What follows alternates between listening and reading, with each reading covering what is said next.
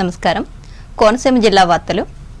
రావులపాలెం మండలం గోపాలపురం గ్రామం ఇచ్చేసిన శాసనమండలి చైర్మన్ కొయ్యే మోషన్ రాజుకి కొత్తపేట ఎమ్మెల్యే ప్రభుత్వ విప్ చెర్ల జగ్గిరెడ్డి ఘన స్వాగతం పలికి శాలువాతో సత్కరించారు. అనంతరం ఎమ్మెల్యే నివాసం వద్ద ఏర్పాటు చేసిన కార్యక్రమంలో ఆలమూరు మండలం మడికి సచివాలయంలో ఉద్యాన శాఖ సహాయురాలుగా విధులు నిర్వహిస్తూ తీవ్ర అనారోగ్యానికి గురై మరణించిన ఉందొత్తి ధనలక్ష్మి కుటుంబ సభ్యులకు ముప్పై వేల ఆ రూపాయల ఆర్థిక సహాయాన్ని మోషన్ రాజు చేతుల మీదుగా జగ్గిరెడ్డి అందజేశారు.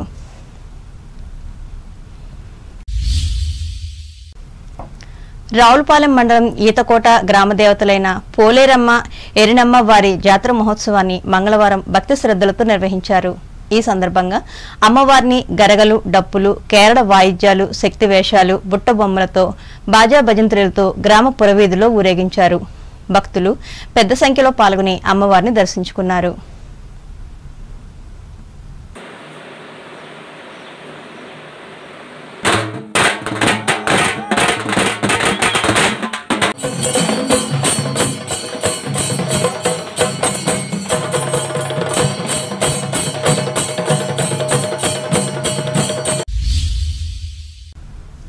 మహిళలు ఆర్థికంగా అభివృద్ధి చెందాలన్న లక్ష్యంతో ముఖ్యమంత్రి జగన్మోహన్ రెడ్డి పనిచేస్తున్నారని పి. గన్నవరం ఎమ్మెల్యే కొండేటి చిట్టిబాబు అన్నారు.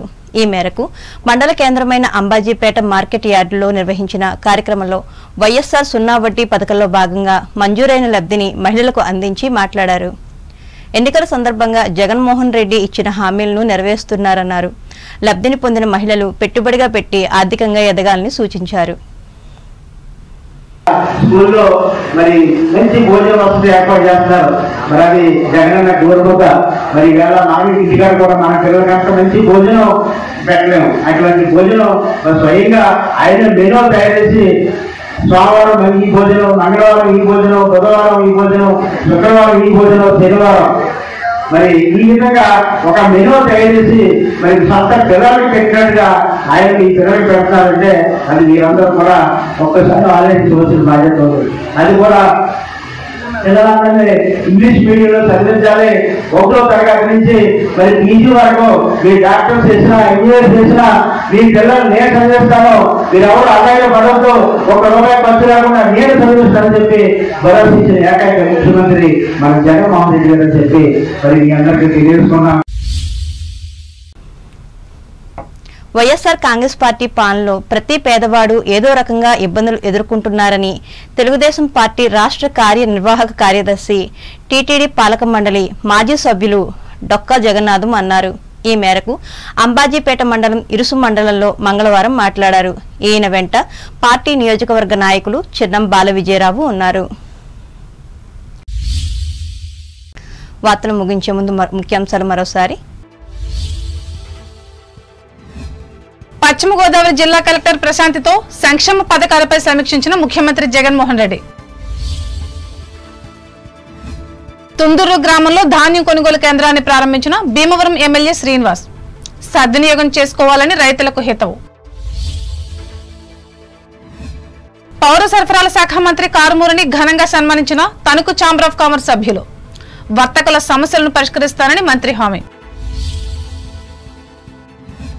పెరిగిన ధరలకు నిరసనగా కొమ్మర గ్రామంలో తెలుగుదేశం ఇంటంటా ప్రచారం. ఆధ్వర్యం వహించిన మాజీ ఎమ్మెల్యే ఆర్మిల్లి